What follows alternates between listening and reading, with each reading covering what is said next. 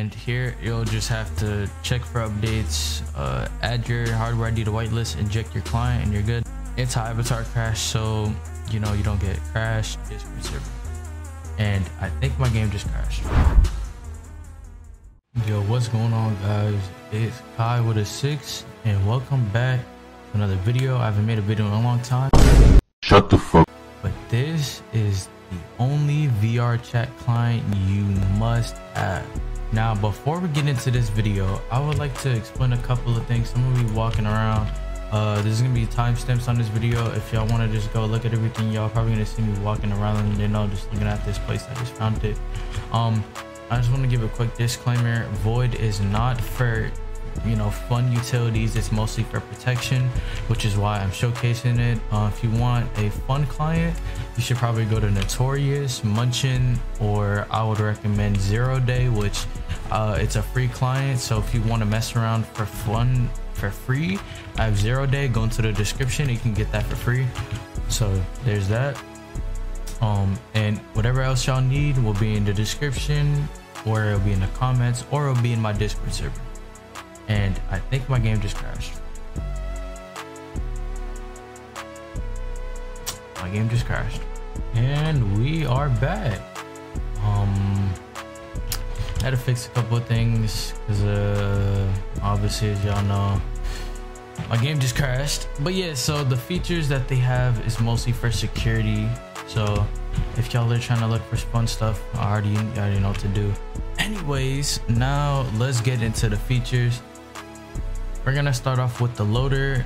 You have to put your key in here when you buy it. Um the prices are in the description so if y'all want to buy this i would highly recommend it over any client. Some clients are probably better than void but for a starter client and it's only at ten dollars a month uh just to support the creator you know it's a, it's a really good client. But yeah so what you want to do is click authenticate and here you'll just have to check for updates uh, add your hardware id to whitelist inject your client and you're good. But after you did that um you should see void or i like to use this little feature but you can do whatever. Um so let's just go here. So safety modules they have anti-world triggers. I'm, I'm not gonna read all these but you should probably get an understanding of what all these are. But if you don't uh anti-instance lock makes yeah you can just look at the bottom you'll see so anti-block. You can see people when they block you. You can see when people join invisibly um in the logs. Anti-avatar crash so you know you don't get crashed. Anti-audio crash you don't get audio crashed. Avatar blacklist uh blacklist avatars that void automatically uh cancels.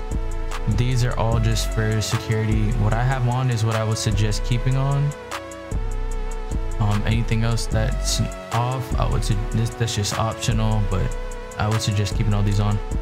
And then these i would suggest keeping all these on. It does come with a you know downside and the only downside is that you cannot see uh avatars. And what i mean is like let's say this avatar that i have on you wouldn't be able to see it if i had like some weird like gun shit on it and some features are missing on some avatars. So if you want all that to go on just go to you know safety and you can turn all this off. Uh, it also comes with a config. You'll just have to ask me for it in dm and show proof that you actually have void because i don't know if void even allows configs to get out like that. So uh, just dm me and show me proof that you have void and i'll just drop it to you. Security we have miscellaneous which is hardware id spoofing which i use in case you get banned. Um fps spoofing you know just because yeah i don't know why i put that on but there's there's some people think that like i'm still here when i'm not. Um ping spoofing because it shows like i'm on like 20,000 ping just to mess with all those client users that uh think they know everything. Uh you got name tags player esp uh, everything else is optional. This is this is just crashers. I would suggest using corrupt because this is corrupted asset bundles and i'm not gonna go into detail what that is. It's just just know that it crashes quest P quest users and pc users. But these two were just for like pc users and quest users and this is audio crash. And then this is miscellaneous. I keep all these off because it's you know it's just there. These are for the worlds to export your friends to another account or import your friends from an account your old account to this one. So I already have my accounts my friends exported. So I can just add them if I get banned on this. Uh, auto, always auto load void and custom plates are just optional. Module settings, uh, like I said, like you can optionally turn these on. These are my settings. I have all these like my ping is I have always have it at like I'm gonna keep it at 999 just because it looks cool and my ping my fps i just yeah fps i just keep it like this. So that's it for void. And this is we're not gonna yeah that that that that's that. So that's it.